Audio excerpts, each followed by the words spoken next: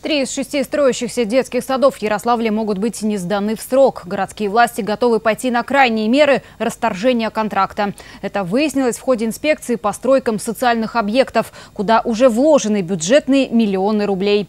Ход работы оценил Евгений Полковников.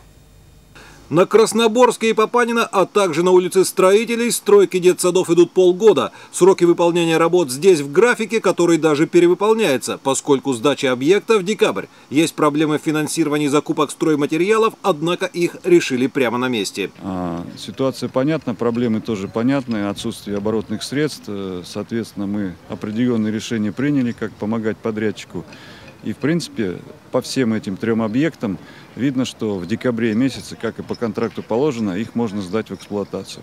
Крыши на детсадах подрядчик также покроет раньше срока, не в сентябре, а в конце июля. Поэтому он уже намерен закупать оборудование для монтажа внутри зданий. Мы обратились с письмом э, к председателю правительства нашего э, с просьбой оказать э, помощь в закупке оборудования, поскольку подрядчики не работают э, без предоплаты, только со стопроцентной предоплаты. Идут навстречу, мы сейчас предоставим все счета на оплату оборудования. Э, обещали помочь в разумных пределах.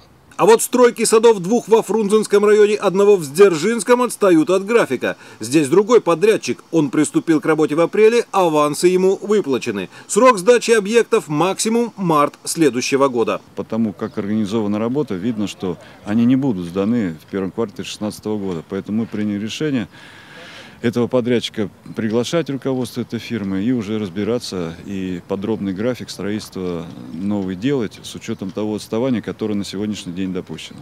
Отставание по трем детским садам во Фрунзенском районе и в Брагино пока до двух недель. Однако при низких темпах работы оно может существенно увеличиться. А этого власти допускать категорически не намерены. Открытие детсадов ждут тысячи горожан. Уже выстроилась очередь. Так, детсад на улице Строителей на 220 мест. Заявок подано 350. Если подрядчик не наверстает упущенное время, городские власти готовы расторгнуть контракт. У нас выиграл подрядчик «Бизнес-стиль». Более 30 миллионов город заплатил авансов по трем детским садам. Выполнение менее 2 миллионов рублей.